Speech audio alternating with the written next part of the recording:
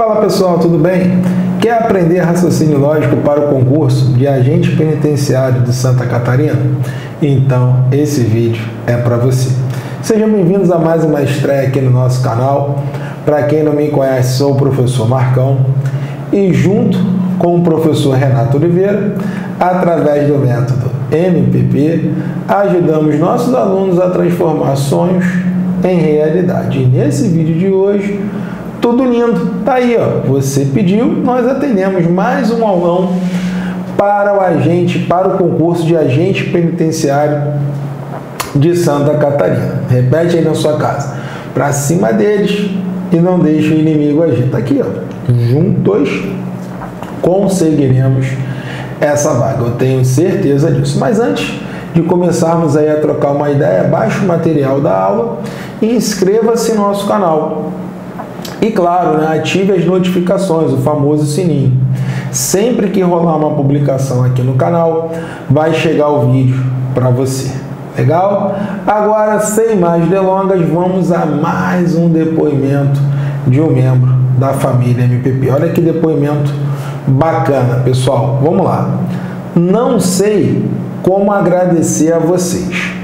Fiz a prova do MP São Paulo no domingo e de 15 acertei 11. Para mim, isso é uma grande vitória, pois nunca acertei mais do que 5 e sempre tive muita dificuldade com a matemática. E vendo os vídeos no YouTube, consegui essa grande vitória.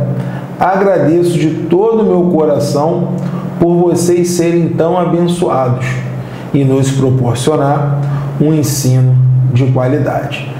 Que Deus abençoe muito vocês. Obrigada, Flávia Stender dos Santos Ferreira. Flávia, muito obrigado a você. Olha que depoimento sensacional, né? E eu tenho muita, cara, eu acredito muito que isso pode acontecer com você. Olha o relato dela. Antes ela acertava cinco questões. Depois, né, de estudar com a gente, passar a conhecer o método, ela passou a acertar 11 de 15. O de 5 ela passou a acertar 11, então é uma vitória que realmente não tem preço, é uma mudança mesmo em relação à matemática, esse conflito que ela tinha com a matemática. E a tendência aí, se ela continuar estudando, que eu acredito que ela vai continuar, é gabaritar a prova. Pessoal, não estamos aqui de brincadeira sabemos né, da nossa responsabilidade. Então, quando preparamos um curso aqui no site, esse curso ele é preparado com muito carinho. Por quê, Marcão? Resumindo a história, estamos trabalhando aqui com sonhos. Né? E o seu sonho, cara, vai ser realizado. Basta você acreditar e basta você fazer. Né? Também tem, né? Ah, quero passar para a prova de agente penitenciário de Santa Catarina e ficar olhando para o teto. Não, cara tem que lutar, tem que batalhar, porque antes de ficar bom, vai ficar muito ruim. Tem que abrir mão de tudo e focar só nesse concurso. Ah, marcar um ano novo, pô, Natal. Cara, esquece isso, velho. Isso aí tem todo ano. Legal? Vamos juntos nessa corrente do bem, caneta e papel na mão e vamos dar início aí à nossa aulinha. Vamos lá? Tá aqui as nossas redes sociais. Troca likes e sigo de volta. É, isso aqui está aqui no meu Instagram. Vai lá para a gente trocar uma ideia. Muito simples, Marcão MPP. E agora vamos lá, simbora, nossa primeira questão do nosso aulão. Considere A e B como afirmações verdadeiras. Está aqui. E C e D como afirmações falsas. Assinale a afirmação verdadeira. Então, são questõezinhas da FEPES. Então, vamos lá. Olha a letra A, pessoal. Vamos analisar a letra A. Lembrando, ele quer a verdadeira. Então, só vamos parar aqui quando encontrarmos a verdadeira. A proposição B, ela é verdadeira. A proposição D, ela é falsa.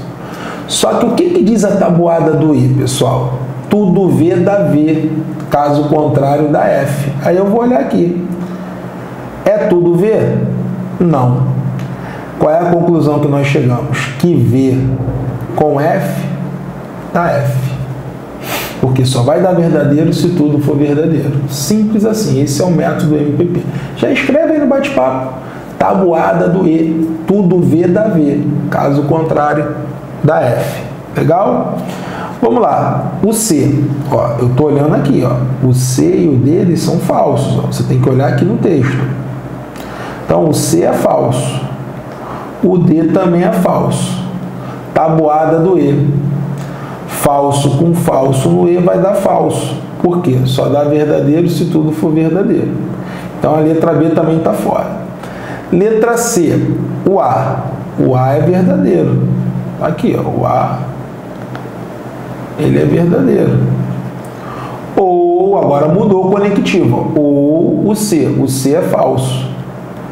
O que, que diz a tabuada do U? Tudo F dá F. Caso contrário, dá V. Então só dá falso se tudo for falso. Vamos analisar? Tá aqui, ó. V com F. V com F vai dar V. Por quê, pessoal? Só dá falso no ou se tudo for falso. Então, se tem pelo menos um verdadeiro, o resultado é verdadeiro. Então, com certeza, o gabarito é a letra C de churrascão da aprovação. Tio Marcos, faz as outras, né? A letra D e a letra E para mim? Com certeza. Vamos lá, vou tirar essa moral. O C, o C é falso. O D também é falso. Tudo V, tudo F, perdão, tudo F dá F. É isso? Agora estamos no O. E aqui é o C então. Ó, o A é verdadeiro e o C é falso. E Marcão, Vera Fischer. Vera Fischer é falsa. É o único caso que dá falso no C então. Beleza? Então, gabarito. Deixa eu até mudar aqui, ó. Gabarito letra C. E passamos agora para a próxima questão. Vamos lá. Agora é uma questãozinha de argumento, né? Argumentação, né, por diagramas lógicos. Então vamos lá. Todos os felinos têm bigode. Pepe não tem bigode. Logo, então, pessoal, qual é a jogada aqui? O todo, ele tem uma representação. Qual é a ideia que o todo passa para gente? É sempre a ideia de um conjunto dentro do outro. O primeiro sempre fica dentro do segundo. Quem é o primeiro, Marcão? O primeiro é o cara que está antes do verbo. O verbo está aqui. Ó. O primeiro é o cara que está antes do verbo. Então, o felino fica dentro do bigode. Então, primeiro desenhozinho é esse aqui. Ó. O conjunto dos felinos vai ficar dentro do bigode. É só você lembrar do macete. O primeiro fica sempre dentro do segundo. Pepe, vou chamar de Pepe, tá? Pepe não tem bigodes, então esse cara está do lado de fora. Vou até desenhar aqui o Pepe.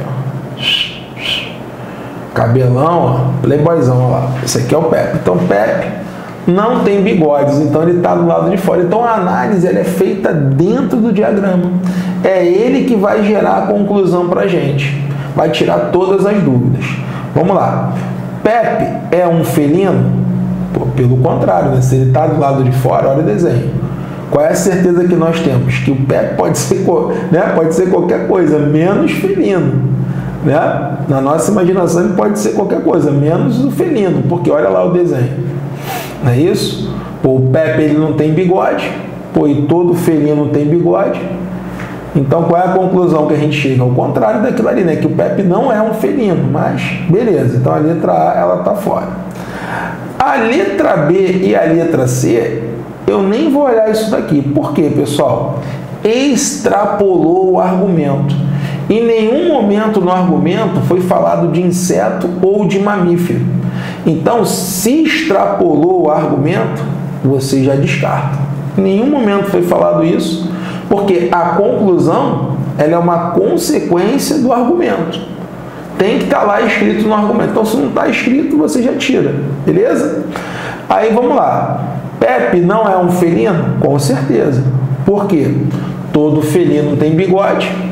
e Pepe não tem bigode, então com certeza ele não é um felino. Então, gabarito, letra D. Marcão, marquei a letra E. É o inimigo agindo na tua vida. Tá errado. Por que, que tá errado? Algum felino não tem bigode?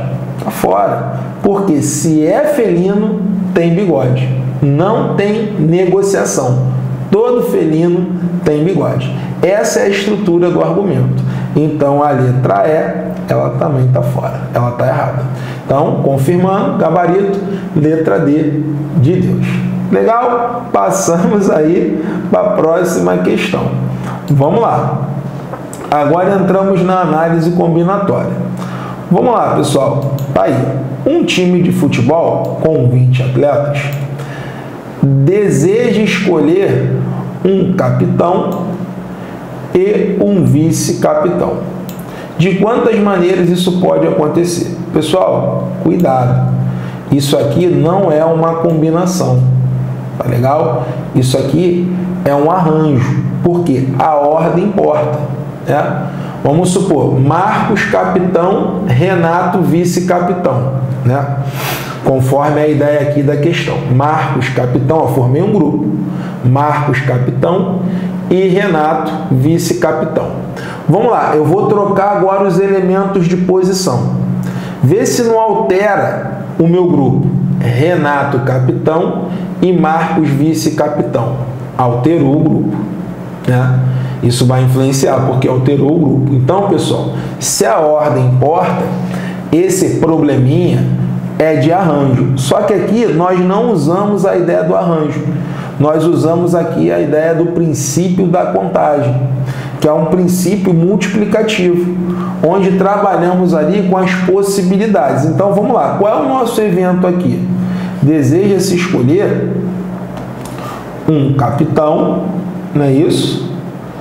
E um vice-capitão, possibilidades. Então, para a primeira escolha, né, que é a do capitão, eu teria 20 possibilidades, porque eu tenho 20 atletas.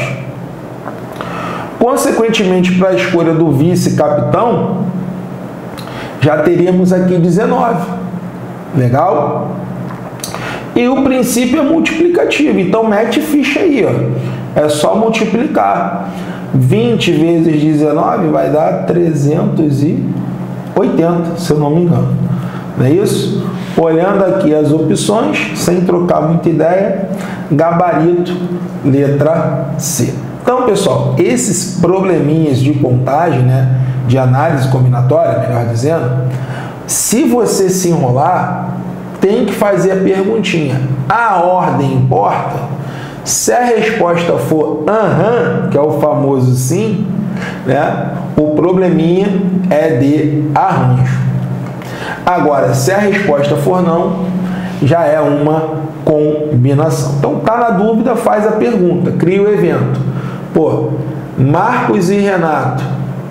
E Renato e Marcos, nesse contexto, é a mesma coisa? Não. Então, significa que a ordem importa. Se a ordem importa, é um arranjo, é um probleminha de contagem. Legal? Simbora para a próxima questão. Vamos lá, que aulão sensacional. Vamos lá. Tá aí, pessoal. Uma empresa conta com 50 funcionários. Dentre esses, 47 devem ser escolhidos para fazer um turno extra ao sábado. De quantas maneiras diferentes é possível escolher os 47 funcionários? Para os funcionários, perdão. Para os tarados por conta, essa questão é um prato cheio. Né? O cara ia fazer a combinação de 50 para 47. Só que o cara ia se estrepar, por quê? Ele ia fazer muita conta. O cara que não gosta de simplificar, né? Então você que tem problema aí com a simplificação, cara, tira isso da tua cabeça, porque vai chegar um momento na vida que você vai ter que simplificar, beleza? Então vamos lá, pessoal. Como é que eu sei que essa questão é de combinação? né, a ordem não importa. Primeiro passo. Ah, Marcão, mas isso fica muito vago para a gente. Então, pessoal, ideia de grupos de pessoa, onde nesse grupo, né, tem que prestar atenção nisso. Pô, beleza, ah, Marcão, então todo grupo de pessoas é uma combinação? Na maioria das vezes, sim. Só que você tem que tomar um cuidado. Se dentro desse grupo acontecer uma hierarquia né, entre essas pessoas, como um caso anterior, né, vice-presidente, né, presidente, vice-presidente e secretário. Olha, aconteceu dentro do grupo uma hierarquia, né, uma ordenação, uma hierarquia. Então, se isso acontecer dentro do grupo, já deixa de ser uma combinação, porque a ordem importa. É um grupo de atletas, aí tem lá primeiro, segundo e terceiro lugar. Opa, classificação. Então a ordem importa. Então, ideia de hierarquia e ideia de classificação é arranjo. Só toma cuidado com isso. Então, em geral, combinação. Ideia de hierarquia e ideia de classificação já passa a ser um arranjo. Esse agrupamento de pessoas. Legal? Como isso não aconteceu aqui, isso é uma combinação. Como é que a gente vai formar isso daí? Vamos lá. Agora é com a gente. Vai ser combinação de 50 para 47. Só que aí, pessoal, vai abrir muito pelo método MPP. Então, qual é o bizu, pessoal? É a gente trabalhar sempre com complementar. Vou trocar uma ideia aqui com vocês para não ter gritaria. O que seria o complementar? Ó, pega a visão. Combinação de 5 para 3 é igual à combinação do seu complementar. É igual à combinação de 5 para 2. É só você olhar o número. Pô, sempre do menor para o maior. 3, ó, 3. Para completar 5, falta quanto? 2. Então, combinação de 5 para 3 é a mesma de 5 para 2. Combinação de 9 para 7 é a mesma combinação de 9 para 2. Porque 7 para completar 9 falta 2. E assim vai. Combinação de 9 para 6 é a mesma de 9 para 3, porque são complementares. Né? 6 para completar 9 falta quanto? 3. Então aqui, pessoal, para você não fazer muita conta, qual é o bizu? Trabalhar com complementar. Combinação de 50 para 47 é a mesma combinação de 50 para 3. Porque 50 para 3 é o complementar. Ó, 47 para completar 50 falta quanto? 3. Tudo lindo. Vamos lá. Agora qual é o bizu? Esquece esse cara aqui e trabalha com esse.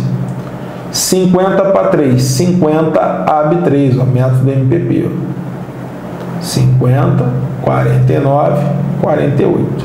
Isso aí você só encontra aqui no nosso curso teórico, esse macete sem o uso de fórmulas. Então, 50 abre 3. 50, 49 48. Abriu 3, divide por 3. 3 fatorial, 3 vezes 2 vezes 1. Só que 3 vezes 2 vezes 1 dá 6. Ó. Pou, pou, passei o facão aqui. Ó. 48 dividido por 6 vai dar 8. É isso? Então, 50 para 3 vai ser igual. 50 vezes 49 vai dar 2,450. Vezes 8 vai dar 19,600. Fiz até essa continha aqui. 19,600. Depois confere aí, né, para ver se está certo. 19,600. Aí a FEPESE gosta disso. Aí você tem que comparar ali os valores. É mais do que 19,500? Sim. Marca o V da vitória e vai ser feliz. Legal? Gostaram dessa aula? Ah, Marcão, acabou. O cara não vai embora não. Fica aí para gente trocar uma ideia. Tá aqui o nosso curso para agente penitenciário de Santa Catarina. Fizemos um curso específico com foco na banca FEPES e esse curso está com bônus. E esse bônus é uma apostila de raciocínio lógico comentada, que com certeza vai auxiliá-los aí na sua preparação. Então a prova está chegando. Você com certeza, se você comprar esse curso, você imagina, caramba, Marcão, vai dar tempo de eu estudar todo esse conteúdo até a prova? Só depende de você. Te garanto, se você pegar né, a quantidade de vídeos do curso e dividir aí até a data da prova, cara, vai dar uns 5, no máximo 6 vídeos aí por dia. Por ser online, você pode assistir no seu trabalho, no intervalo, na hora do almoço, no ônibus. E claro, né, quando você chegar em casa, ah, Marcão, eu fico com muito sono, eu quero dormir. Então, beleza, dorme aí. Depois não reclama. Né? Por quê, pessoal? Pelo amor de Deus, eu sempre falo isso, o sofrimento ele é temporário, é só até a data da prova. Ah, Marcão, mas eu vou dormir quatro horas, três horas por dia. É a vida, irmão. A vida é isso aí. Você não quer ser né, um agente penitenciário do seu estado, você não sonha com isso, você não quer ter uma estabilidade. Então é isso. É isso aí que você vai ter que fazer. Agora, se você não está preparado para isso, se você porra, não está confiante, cara, não gaste o seu dinheiro. Não faça esse investimento. Deixa para lá, né? fica aí, vai dormir, que é a melhor coisa que você faz. Ah, Marco, mas como é que eu faço para. Cara, é você que tem que tomar essa atitude. Né? Você que tem que tomar essa atitude. Já viu quando a gente vai comprar uma roupa para o Natal no novo? A gente não fica ali, né? A gente vai lá, compra, né? parcela em um milhão de vezes e eu te garanto que o valor do curso né, é bem inferior, né, é muito inferior a uma roupa aí de Natal, Ano Novo, enfim, ou aquele telefone, aquele iPhone que a gente compra aí em um milhão de vezes, né, mas a gente quer ter aquele bem material. Mas aí é o que eu falo, qual é a sua prioridade? Você quer mudar a história da sua vida? Você quer tirar a onda aí final de ano, já está pensando no carnaval? Aí depende de cada um. Então, pessoal, reflita, porque o tempo passa. E a única coisa que não volta é o tempo. Infelizmente. Então, o tempo é o bem mais precioso que nós temos. Às vezes acordamos lá na frente. Aí você olha para trás e fala: caramba, não deu. Não dá mais, porque aí você já tem. De repente você já é até avô, já tem filho.